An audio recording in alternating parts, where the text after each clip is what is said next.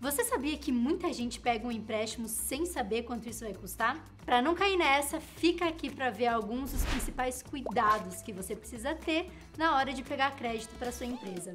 Crédito PJ é um nome usado para linhas de crédito voltadas para empresas.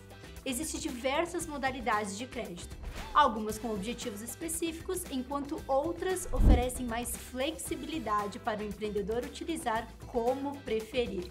Vou te dar alguns exemplos.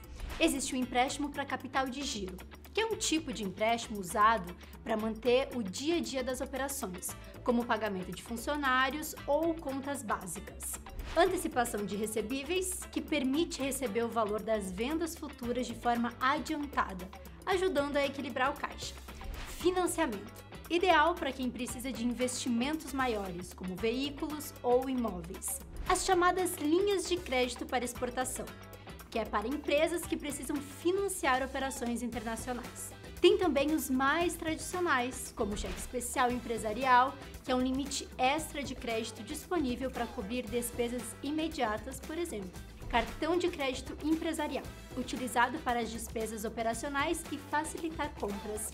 Mas é importante lembrar que pegar um empréstimo ou qualquer tipo de linha de crédito é um compromisso sério. Aqui estão alguns cuidados que você deve tomar.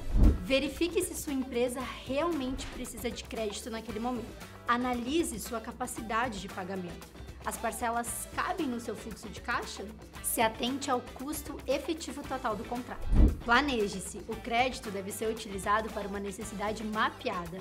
Saiba com o que pretende gastar para não gerar erros de cálculo e desperdícios.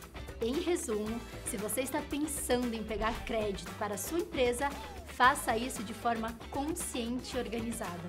E saiba que a Stone pode ser a sua parceira com opções para os seus negócios. Para saber mais, acesse os nossos canais oficiais e se inscreva aqui para mais conteúdos.